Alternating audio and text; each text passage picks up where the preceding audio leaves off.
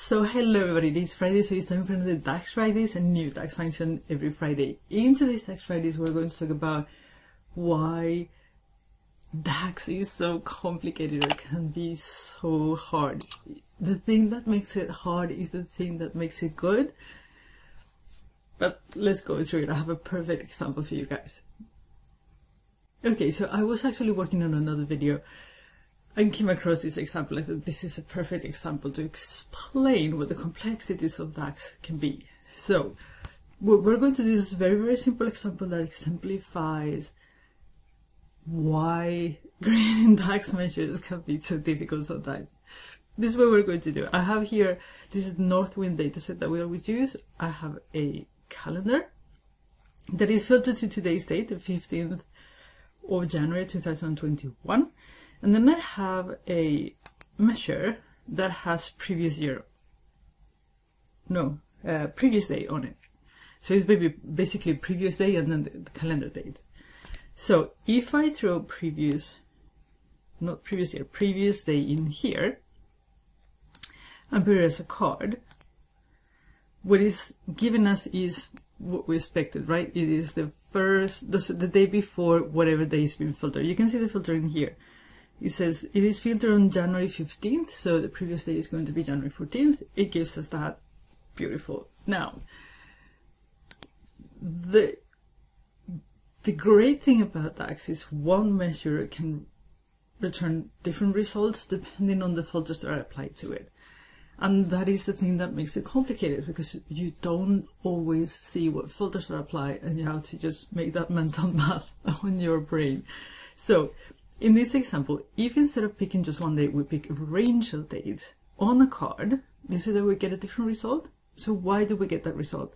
If we look in the filter, it says that this is, the filter is a date that is from the 20th of March onwards, so until today's date. So what it's giving us is the previous day of the first day of that list of dates. And that's exactly what it says on the documentation. It says it returns a table not a one value. It returns a table that contains a column of all dates representing the date that is previous to the first date in the date column. Okay, in current context, it could be even more filters around that could affect that. Right now, just to simplify and show you, just, just one filter. So as you can see, we have a range of dates. If we put it on a card, it's always going to give us the first one of the list, but if we would put that into table, then you will see the, the full thing. You will see that it returns a table. This is the table.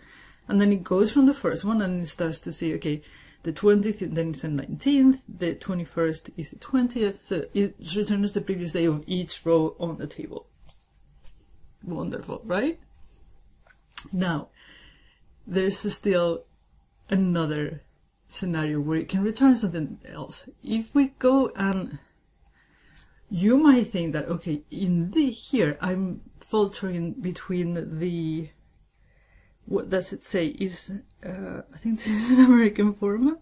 No, no, it's in, yeah, the 16th of March 2019 to the 1st of, you know, to today's date, January 15th.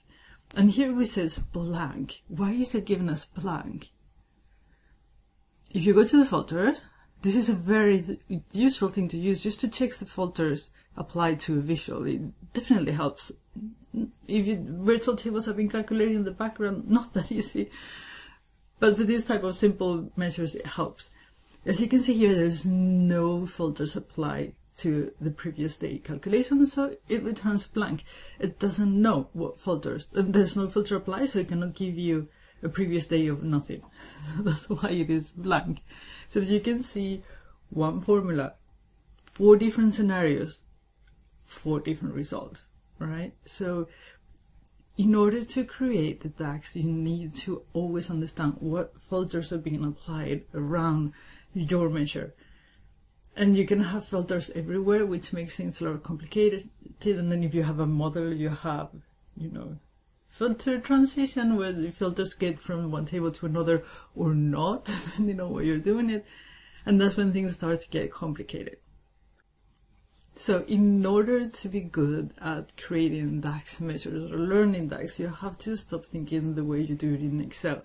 you have a formula and you know for sure what the result will be. Here you don't know. You have to figure out if you get an unexpected result, you have to figure out what filters are being applied in there that makes it behave the way it does. And it could be easy, it could be complicated depending on how many filters you have applied to that measure basically. So yeah, I hope that this clarifies why DAX can be so complex and the things that you could do to, to learn it and to figure out what's going on.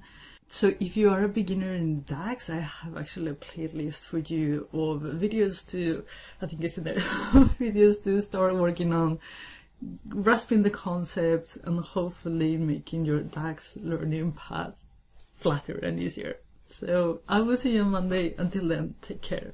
Bye bye.